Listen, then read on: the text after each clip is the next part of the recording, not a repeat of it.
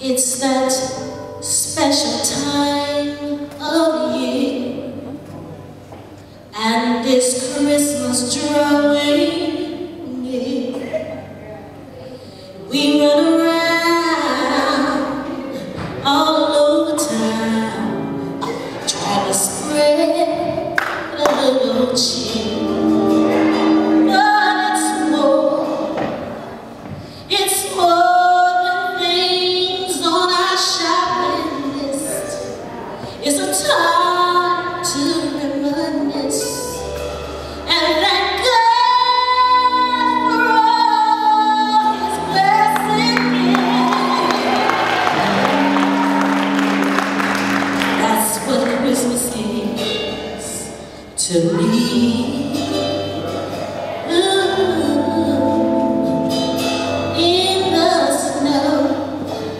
the you.